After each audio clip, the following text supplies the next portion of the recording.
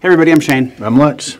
Let's talk telemetry. Yes, let's do it. Um, obviously, there's been a lot of talk Yeah. around, you know, the last the last month. The water cooler, or in our case, the Scotch cooler. Oh, the web is the web's blowing up um, about everyone's saying, "Oh, how do we how we disable Windows spying and things like that?" It's actually the Windows telemetry, and uh, yeah, we'll we'll talk about that. I guess one of the biggest surprises. I mean, people have been knowing about this in Windows 10, but in recent months, they um, released some. Uh, yeah, Microsoft has been making the same telemetry, uh, uh, you know, tracking Changes, yeah. changes in Windows 7 and 8.1 and so on and so forth. So, um, scoured the web a little bit, and and uh, I mean a little bit, and bit. just grab and just grab some of the more some of the more popular uh, settings that we can that we can go ahead and disable.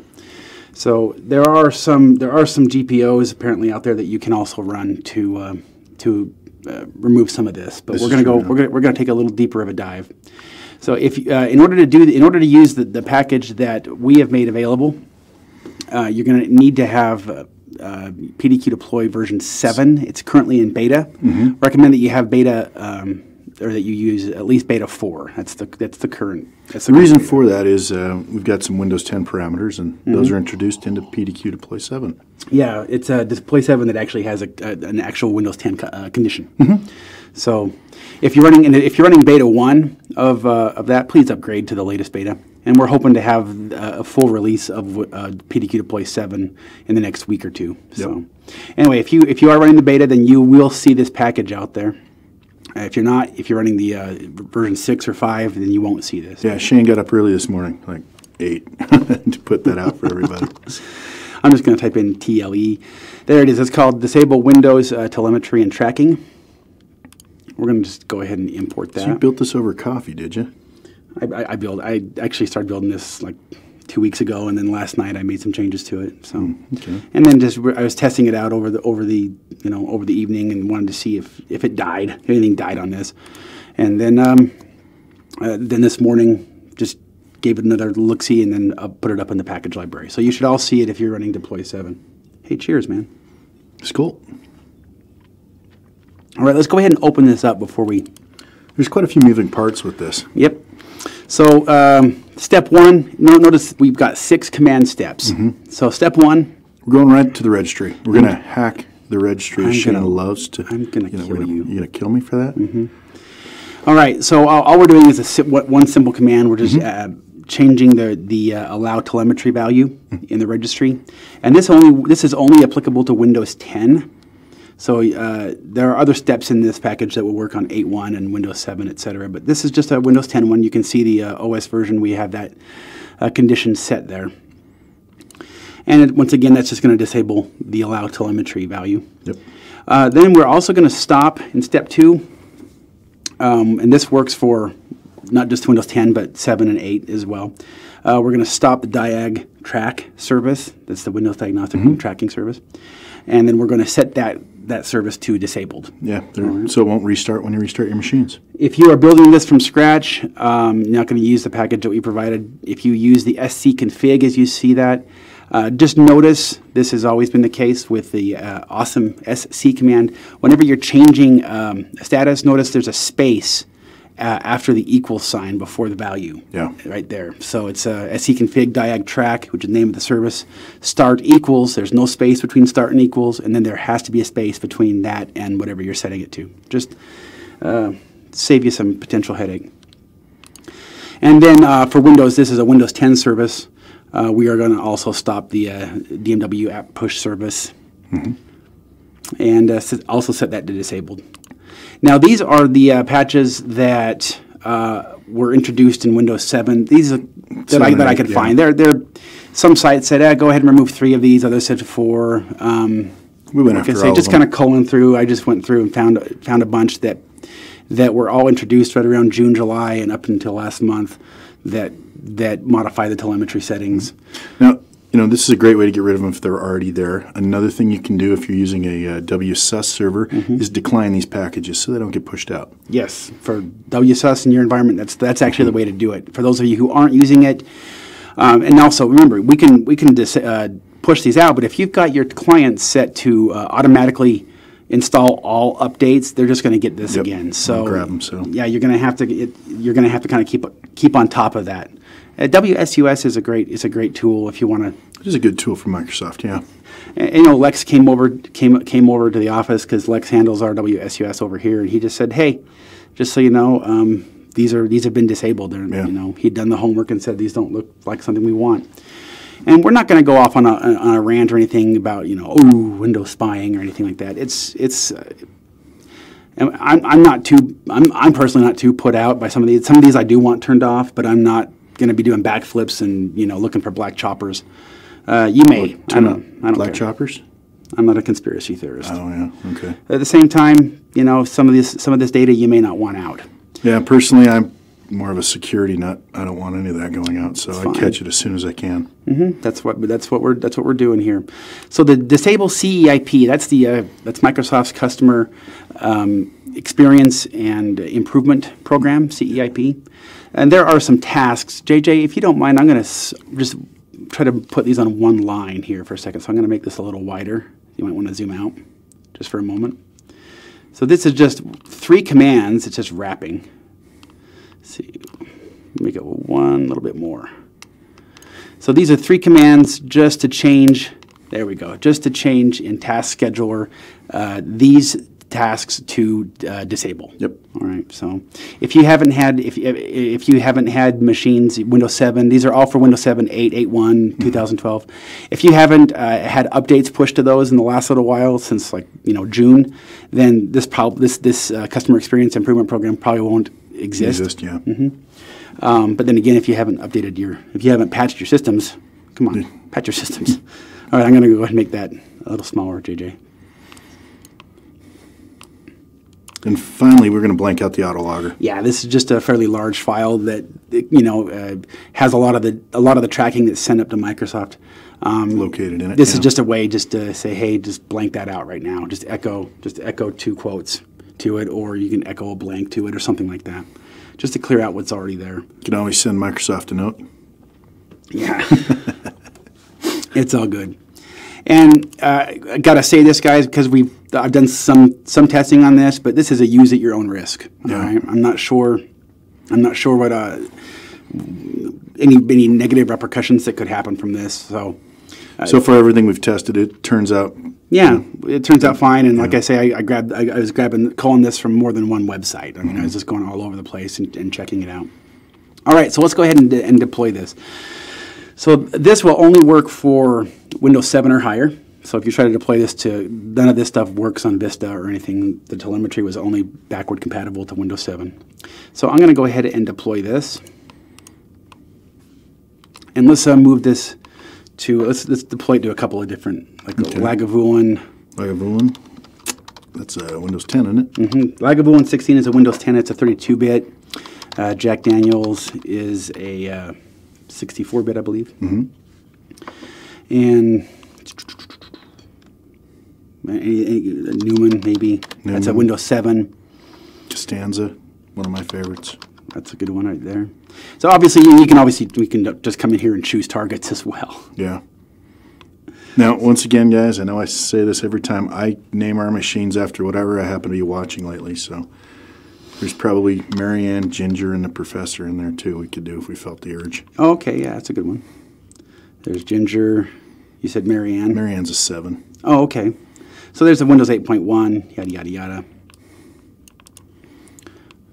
Now we'll just say deploy, right? Yeah, there you go. So we hit deploy. Do what we do best. Yeah. And we still suck at that. You poured a lot more in your glass than mine today. Because I'm a stingy person. I still have the bottle though. So you can see uh, the non the non Windows 10 just skipped right over steps one. Step one, yeah. Mhm. Steps one and three. And let's go ahead. Let's uh, click on. Yeah, see, and now Costanza is actually staying on the uninstall MS patch. It's for, it's removing those patches right now. So if we actually go take a peek, I'm going to open up PDQ inventory and go to Costanza or uh, something that's going to be closer to being done. Did you? Uh, we did Ginger, right? Mm-hmm. Was Ginger all, all? Did Ginger have all the patches applied? All of them, yeah. everything?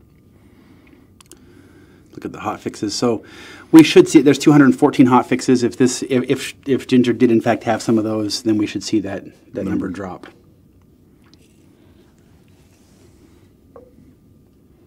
Oh, there's a scan. Yep. So it looks like she had four of those, and now we're down to 210.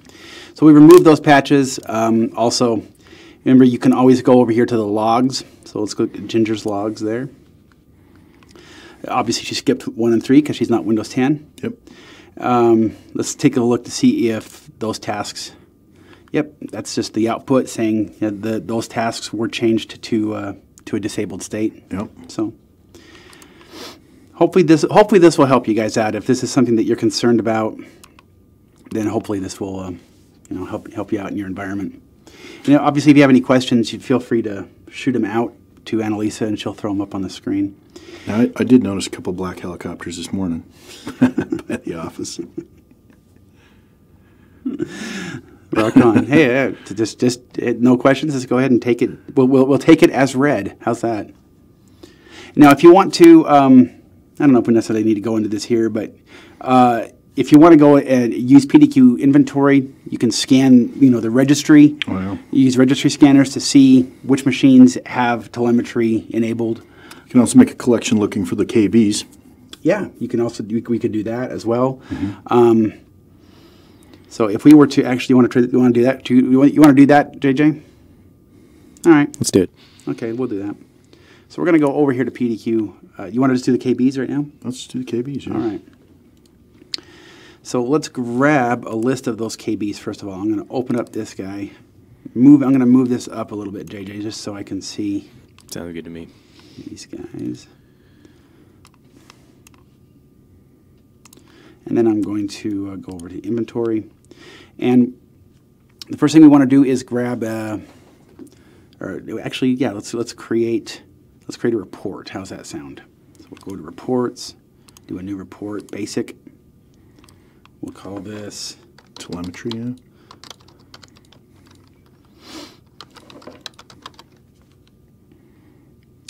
So we'll say computer, and then I'm gonna uh, we're gonna also look at hotfix. Hotfix name. Perfect. At this point, we just need to add filters, I think. Uh, let's do installed on as well. And now for the filters, we're going to change this group filter to any because we're going to say just show us any, uh, you know, any of these specific hotfixes. We'll change to that. We'll create a, a value filter and say the name contains, and this is where I'm going to use the cheat sheet here. Let's see, make that. I'm going to bring that down here, make this window a little smaller so I can see that. There we go.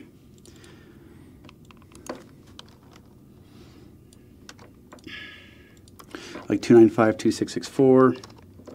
I won't do all of them. Then I'm going to create another one. Notice we, since we have any, we can throw the same, we can be looking in the same, uh, you know, table and, and, and column since we're using the any here. Uh, if you were to use all, then it would actually look every time you when you ran this, it would say You'd need every all- every, every yeah single one of every single one of these every, every row has to contain this and this and this and, and nothing Otherwise, it wouldn't, yeah. Nothing's going to do that. We'll go to, we'll go to the 297. bottom. I'm going to go to the bottom of the V08, 0149. Just get a nice little smattering here. With 307. And what was the other one? 5249? Yeah, 5249, yep. See that report. We'll just see that right now. Perfect. So these are the machines that currently have these patches. Mm-hmm. So guess what you can do? If you want, you could create a, let's create, oop, let's, I'm going to go back into that report. So it's called telemetry. Mm-hmm. I'm going to, um, new collection from mm-hmm. report. Just said okay to that, and now we'll have a new collection. It's going to be on the root level. Telemetry patches. So these are the machines that need that. And I'm not going to deploy to all of these machines, but here's what you can do. From this particular collection now, I could say right, I could right click on that and go to Tools, PDQ Deploy. And it's going to give me the available uh, packages. I'll say we want to disable Windows telemetry and tracking. And it's going to put up all of those targets right there. We'll just we'll just remove some.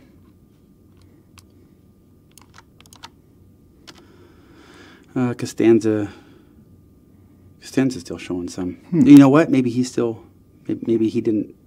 Oh, you know what? I'll bet you that th- he needs to be. This need to be restarted. How can you find out? Notice we had already deployed to Costanza, and if we come over here, yep, I just clicked on the Costanza. And you notice 3010. That means uh, that that that was on the install MS. 3010 means Needs a reboot. It was successful, but it does need a reboot, and we don't. We did not initiate the reboot. So um, once uh, Costanza gets rebooted and rescanned, then those those those should all go away. And we'll just go ahead and hit deploy. How's that sound? Sounds good. Now let's remove Brant. Is Brant the one we want to remove? Yeah, let's remove Brant. Yeah. There we go.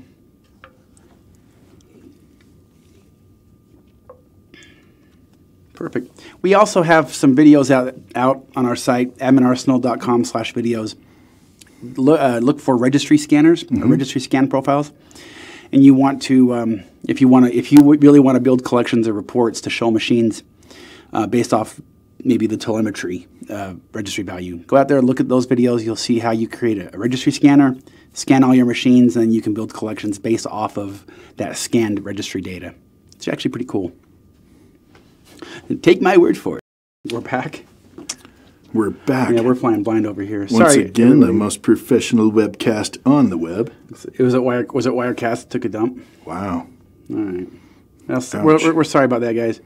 Uh, as you can see, there's the deployment, and it looks it's really pixelated over here, JJ. I'm not sure if that's going out like that.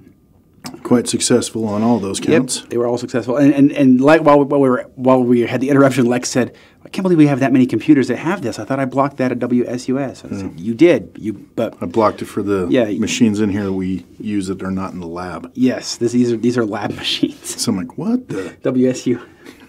WSUS handles the, the just our main machines. Yep. Anyway, so uh, hopefully this answered some of your questions, you guys. The package is out there; it's available. Once again, you have to have Deploy Seven to do it. So uh, there you go. Yep. Beta 4 at least, guys. Yeah. If if we don't have any questions, JJ, should we just do the wrap? All right. All right. Well, you guys, thanks for watching. Uh, I'm Shane. I'm Lex. We'll talk to you guys later. See you. Hey everyone, thanks for joining us today. If you didn't get a chance to ask a question that you just thought of just now, you can always hit our support site, support.adminarsenal.com. We can help you out there. We'll see you next week.